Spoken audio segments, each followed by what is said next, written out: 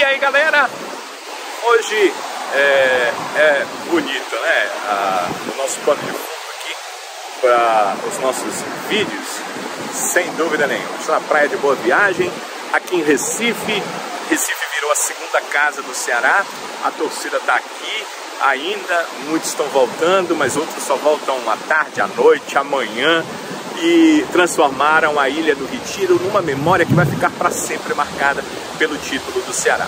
Nesse vídeo, a gente vai conversar sobre a coletiva do técnico Eduardo Barroca depois do jogo. O Barroca admitiu na coletiva, inclusive uma pergunta minha, a importância do técnico Gustavo Morínigo. Ele atribuiu a conquista ao técnico Gustavo Morínigo e aos atletas que se doaram em campo. E olha as aspas aqui que o, Barroca disse. Eu queria deixar esse abraço ao Gustavo e eu vou fazer isso pessoalmente. Ele disse que vai conversar com o técnico Gustavo Mourinho, pessoalmente vai é, falar para o Mourinho que ele também tem uma parcela e tem mesmo. É, o Barroca comandou o Ceará em uma partida contra o esporte e o Mourinho comandou em todas as outras. O título tem muito a ver com o Mourinho, porque foi ainda sob o comando do técnico Gustavo Mourinho que o Ceará venceu a partida que lhe deu a chance de ontem ir para os pênaltis e conquistar a Copa do Nordeste. Então, realmente tem muito a ver. E diz mais, é, o Barroca, a base do meu trabalho nesse primeiro momento foi muito mais fácil, então, tirar proveito do que o Gustavo construiu esse primeiro momento ele foi mais em tirar uh, o que o Gustavo construiu, em, em, em, em, trabalhar com o que foi construído pelo técnico paraguaio. Não mexer no que ele construiu de bom, diz o técnico Gustavo Barroca. Então, o técnico Eduardo Barroca sobre o Gustavo Mourinho. Estou misturando, né? O Eduardo Barroca é, disse isso. Vou sentar aqui para a gente conversar um pouco mais. É... Então, o Barroca também agradeceu, agradeceu não, enalteceu o Enderson Moreira, o técnico do esporte, realmente o esporte foi muito bom. É um trabalho já de mais tempo, é um trabalho de maior conhecimento do elenco, então um trabalho um pouco mais é, estabelecido. Bem mais do que o Eduardo e já era mais do que o Gustavo Mourinho. Então, Eduardo Barroca está chegando agora, vai precisar desse estabelecimento ele enalteceu o time do esporte e o que o Anderson Moreira, que falou na coletiva um pouco antes disso. Na sua coletiva, o Anderson tocou mais um ponto de que lamentava, que a sua equipe teve muitas oportunidades e não marcou os gols. Então, ele foi mais na ordem, na parte da lamentação.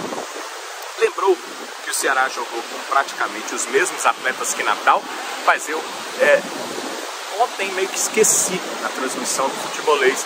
Mas é verdade, o esporte mandou a Novo Horizonte outro time interior de São Paulo. Deixou esses atletas treinando, por isso que eles estavam com muito mais gás, com força total. O Ceará jogou domingo em uma partida difícil em Natal. O Ceará precisava vencer, o Marroca também lembrou isso, é verdade. Tinha perdido as duas primeiras partidas, inclusive tinha sido derrotado em casa para o Guarani por 3 a 0. Então, precisava é, que a equipe jogasse bem, que a equipe construísse um resultado que marcasse os primeiros pontos na Série B do Brasileiro. Então, foi basicamente o mesmo time, né? Basicamente o mesmo time. O que, que mudou ali? Mudou que o Lacerda, é, que jogou contra o ABC, saiu e voltou o Thiago, o Thiago que era titular da equipe. A mudança foi essa. É, chamou a atenção o Barroca também pelo comprometimento dos seus atletas, falou da doação, tem a ver também com os atletas terem jogado domingo e tendo dado todo o gás domingo, também darem um gás inteiro nessa final da Copa do Nordeste. Afirmou que havia um compromisso para terminar com 11 atletas em campo, para que ninguém fosse expulso. Ele disse que achava que isso, entendia que isso era uma condição para a equipe conseguir o título, então conversou muito com seus atletas, isso deu certo realmente. O Ceará acabou uh, com os seus 11 atletas em campo e sobre a conquista falou que ela traz benefícios, porque os atletas passam a acreditar bem mais, passam a acreditar que é possível que a equipe pode conquistar, pode é, chegar aos seus objetivos e principal esse ano, claro, a conquista de uma vaga à Série A do Campeonato Brasileiro.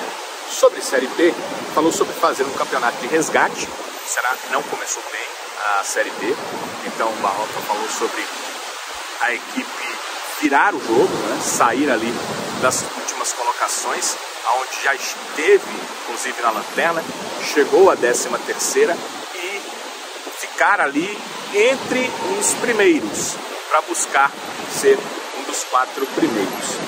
É, chegar à zona de cima e se manter lá, segundo ele, é a chave. O Barroca já teve acesso da Série B para a Série A, então ele, ele admite que a chave é você não ficar muito embaixo, ficar sempre ali pertinho. E quando chegar entre os quatro, se manter entre os quatro também. Continua buscando aproveitar o que o Gustavo Mourinho deixou, mas Eduardo Barroca busca colocar a sua forma de trabalhar.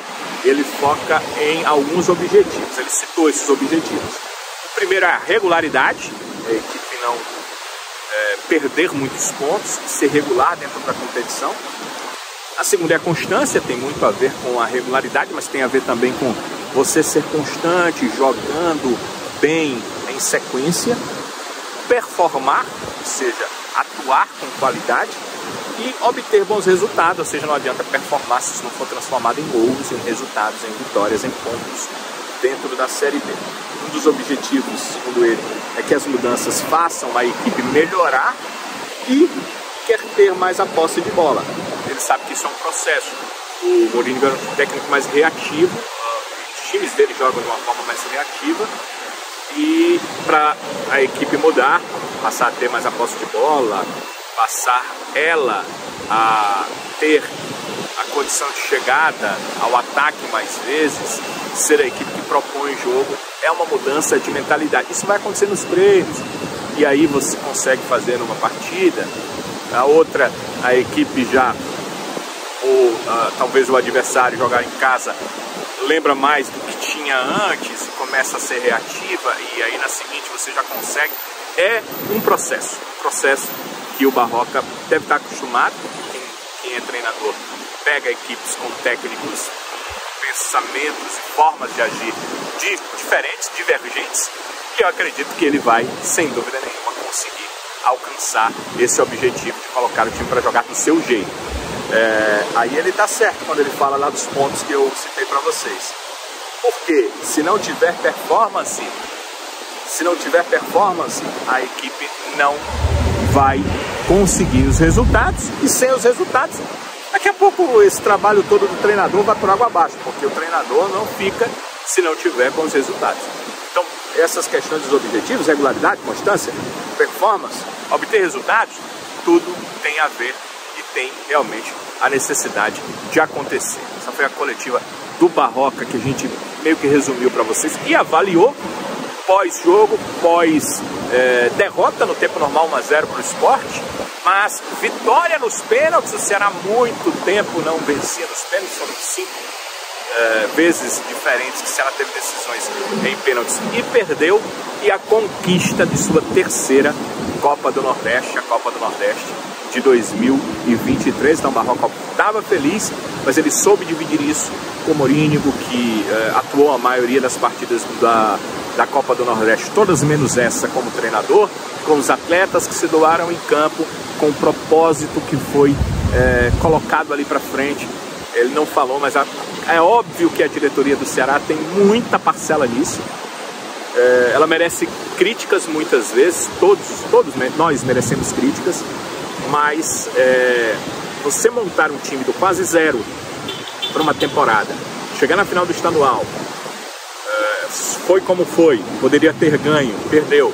Chegar na final da Copa do Nordeste, conquistar, tem mérito aí.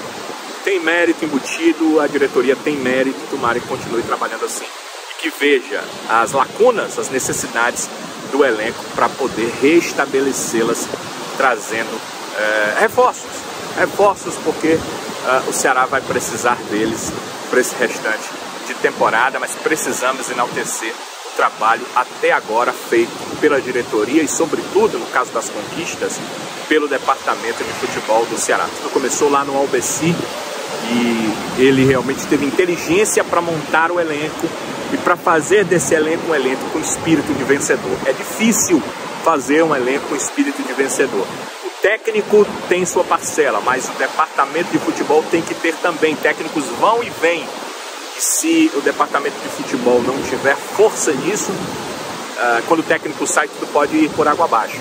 O Ceará tem tido isso, então o João Paulo, o Albeci, os caras que são dirigentes sem remuneração, principalmente, têm feito a parte deles parece, me parece, da, da melhor forma possível até agora. Eu não vejo como é que eles poderiam fazer melhor com questão financeira de Série B e com uma remontagem geral do elenco do Ceará. Mas, é claro, os atletas em campo, as comissões técnicas, agora o Barroca e antes o Morínigo e, e todo o staff do Ceará tem muito a ver com esse momento de conquista da Copa do Nordeste. Lembrando que não é o principal objetivo da temporada, que precisa focar no principal objetivo, que é a Série B, terminar entre os quatro melhores e conseguir o acesso.